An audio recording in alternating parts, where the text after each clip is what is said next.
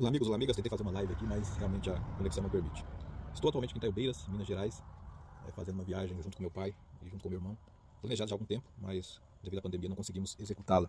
Estamos percorrendo né, a memória, visitando aí parentes né, que moram em Indaiabira, já passamos por Indaiabira, já passamos por Salinas, estamos em Itaiobeiras e retornaremos a, a é, amanhã, né, numa fazenda. Vamos ver fazer é, rapadura e depois voltaremos a Pintado em Indaiabira.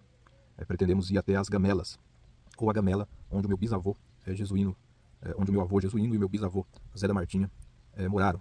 Então nós estamos é, visitando né, e, e, vendo, ouvindo, confirmando né, as histórias orais contadas é, pelos meus pais, né, meu pai Oswaldo Ribeiro é, e a minha mãe, né, em memória, Jandira Maria Pereira e depois do casamento Ribeiro. Então é um exercício muito rico da memória, né? Como diria Saramago, a memória é tudo que somos. E é impressionante porque a tradição oral, né, contada pelos nossos antepassados, ela se mantém ainda viva. E é uma pena que nem tudo foi preservado, nem tudo foi documentado e nem tudo pode ser comprovado também. Então, muitos, muitos, é, muita coisa contada vai ficar no campo da crendice. Outras nós estamos conseguindo confirmar.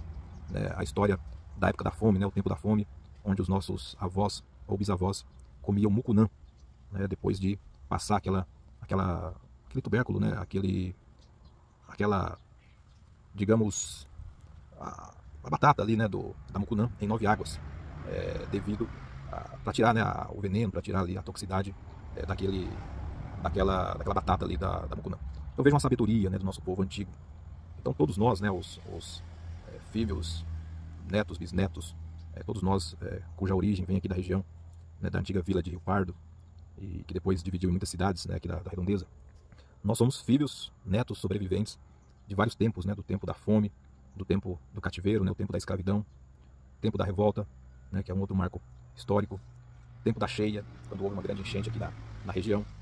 Tempo da escuridão, é outro fato aí muito narrado, né, quando o dia se tornou noite. Né, algo ainda que é, nos intriga. Nos intriga porque são ocorrências, né, alguns fenômenos da natureza, outros é, histórias vividas, outras crendices é, populares, mas que é, compõem esse acervo riquíssimo da história aqui dessa região. Isso além da cultura, né? Nós em Taiobeiras conheci um primo que eu não conhecia, e que é um dos últimos mestres aí é, da Folia de Reis, que é uma tradição musical típica do passado e dessa região. Também os frutos do cerrado, o pequi, a murici, né? Minha mãe sempre dizia, em tempo de murici, cada um pega para si. O rufão, que eu não sabia o que, que era. O pequi, que eu já conhecia, né? E que eu gosto muito. O articum, que eu já conheço e gosto muito também. O rufão, que eu não conhecia, conheci, provei, muito bom. E vários outros, né? Que, que nós não conhecemos. É, por exemplo, a castanha de baru. Eu conheço, muita gente não conhece. Então essa região tem uma riqueza muito grande. Riqueza cultural, riqueza gastronômica, pratos deliciosos, né? o, o arroz com, com piqui, né? vários outros pratos angu, né? feito com milho da roça, né? um milho grande e doce. Então, só tenho a agradecer né? a todos que nos receberam aí nas suas casas, que nos contaram suas histórias e que nos permitiram é, saborear né? os pratos típicos aqui é, do local.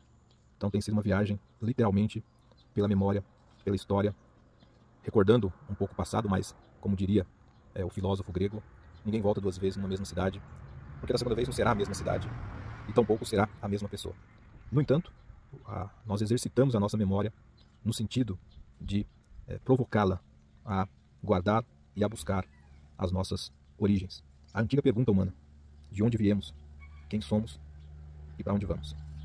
Um grande abraço, fiquem todos com Deus e em breve estaremos de volta aí com as nossas lives com as nossas. trazendo, né? Olha o canto do, canto do pássaro, que coisa mais linda, né? Coisa poética. Aliás, hoje é o dia da poesia, 14 de março. Viva Castro Alves, viva os grandes nomes aí da poesia brasileira, Cecília Meirelles e muitos outros. Grande abraço, se inscreva aí no nosso canal, se inscreva aí nas nossas redes sociais. Valeu, minha gente.